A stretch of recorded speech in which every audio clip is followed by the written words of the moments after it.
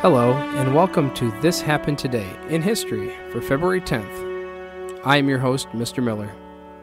This podcast will cover a number of topics that happened on this date in history.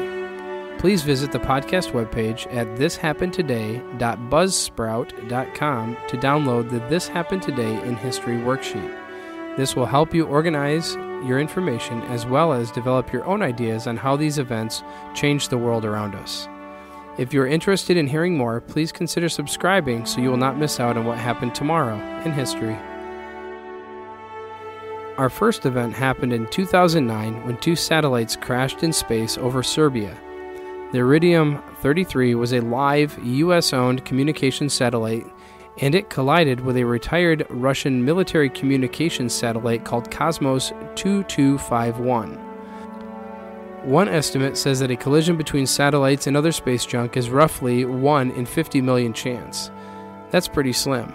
However, as the number of satellites in use and those no longer in operation increase, the chances of collisions will increase. According to the tracker at n2yo.com, as of today, there are 20,000 different objects being tracked in the sky, with more being launched every month. The tech conglomerate SpaceX has been launching many low Earth orbit satellites into space recently, and their current goal is to have approximately 12,000 satellites in place for a worldwide broadband internet connection, with the potential to add an additional 30,000 more. That's a lot of debris to wade through for the space agencies as they continue to launch crews to the International Space Station and beyond. Our second event took place in 1942 Glenn Miller won a gold disc for the single Chattanooga Choo Choo. He's the first person to win this award. Glenn Miller was a big band composer and an arranger in the 1930s and early 40s. His sound was different than most of the bands playing in the time period, and Miller had a good handle on what the people were looking for in music during this time. In total, Glenn Miller had 69 number one hits, better than both Elvis and the Beatles. His song Chattanooga Choo Choo was the first gold disc recipient, meaning that the song had sold over 500,000 copies. Today, with streaming audio and digital downloads, that number could be easier to hit, but back in 1942, that meant that he was able to sell 500,000 copies of his single on a 78 RPM record. That's a lot of shellac.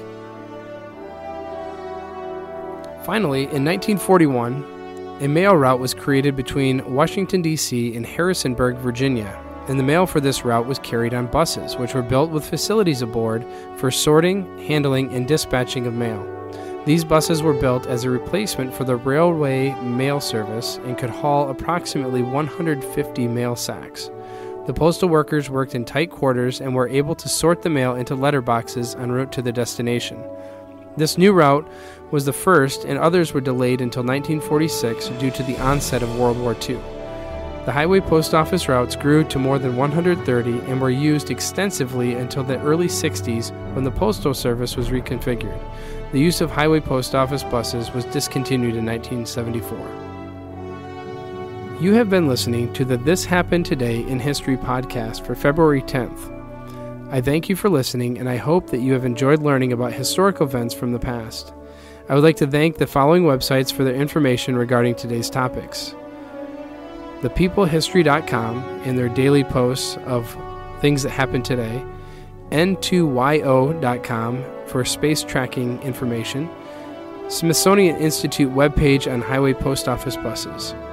The music used as the background track for this podcast is Americana, created by Kevin MacLeod on Incompetech.com. If you enjoyed this information and would like to hear more, please consider subscribing as this will keep historical events in your feed in the morning every day. I hope you have a great day.